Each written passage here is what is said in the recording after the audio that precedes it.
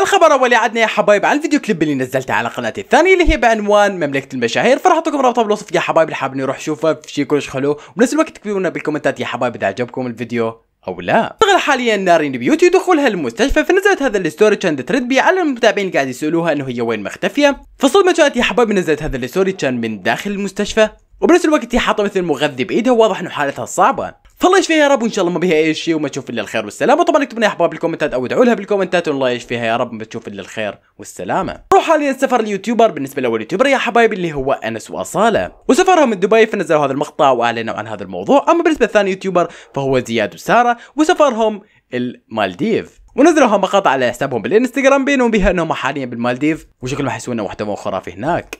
نروح حاليا لمحمد كريم والكلام بالكتابة عن أميرة الحسين. فمحمد كريم يا حبايب نزل هذه الصورة اللي هي لها علاقة بالفيديو كليب اللي راح نزله قريبا. وكان كاتب أنا أفضلك لأنك تحاول الكثير من أجل واللي هو يقصد أنه هو يفضل أميرة لأنه هي دائما تحاول أو تبقى وياه. بنفس الوقت يا حبايب أميرة هم كتبت له comment على هذه الصورة وكانت كاتبت له ونبي محمد كريم صرت موديل فهو رد عليها آسف مرتبط وحبيبتي تشوفني خليك بعيدة. وطبعا هو ضحك مو أكثر يا حبايب فهو قصده مرتبط بأميرة يعني. فكروا حبايب بالكومنتات شو رايكم بهذا الخبر وننتقل حاليا لأحمد حسن وزينب وبالأخص زينب تنزل شوية ستوريات كنت ترد بيها على هواية أسئلة. بالنسبة للسؤال الأول كان يسالوها انه بما إنه هي حاليا حامل فهي بأي شهر فردت انه هي بالشهر الخامس. أما بالنسبة لل story اللي بعدها فسألوها إذا أكو مشكلة حاليا بينها وبين أحمد حسن بما إنه انتشرت إشاعة قبل فترة يعني. فردت انه لا ماكو أي خلاف بيناتهم.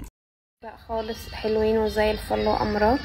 أنا دلوقتي قاعد بلعب ايلن والحياة جميلة يعني.